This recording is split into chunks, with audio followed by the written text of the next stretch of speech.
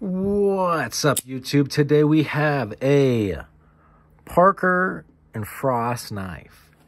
And this is like kind of the, I mean, honestly, it's getting close to the height for that brand, even with this annoying gap. This is also an old knife.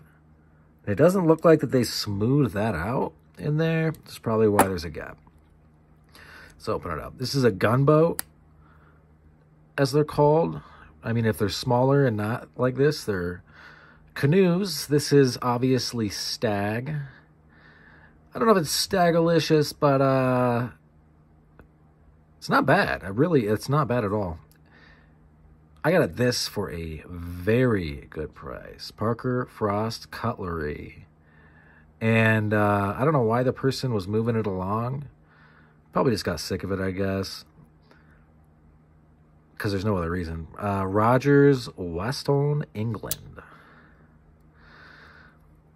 Alrighty, that's tough, tough. A little bit of patina.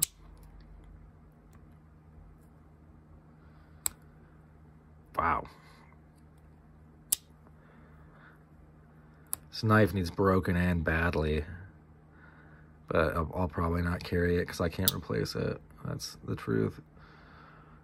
What a great piece. This was $60 on eBay. I've seen them go for more. This is slightly used. I could clean it up a little bit more if I wanted, but I think it looks good. It's a rugged piece. It's not that big. I mean, it's probably like three and a half inches closed. There's no points that snag on your fingers or anything.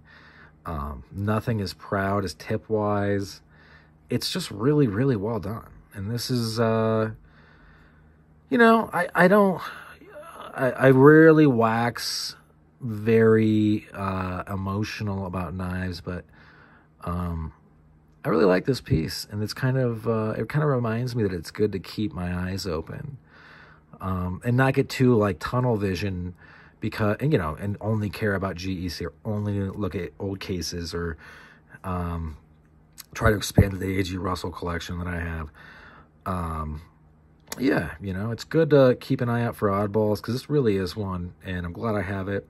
So I'll show up for this one, folks. Like, comment, subscribe. I want you to write your congressman about how great this channel is, and I want you to vote for me for president, and that's my channel's name, not my actual name. Have a good rest of your day, folks. Bye now.